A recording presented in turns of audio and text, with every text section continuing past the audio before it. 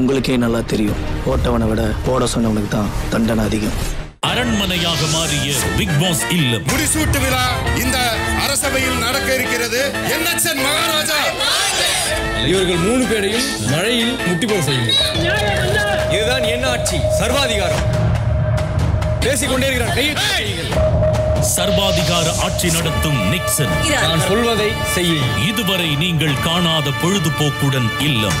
big Boss season seven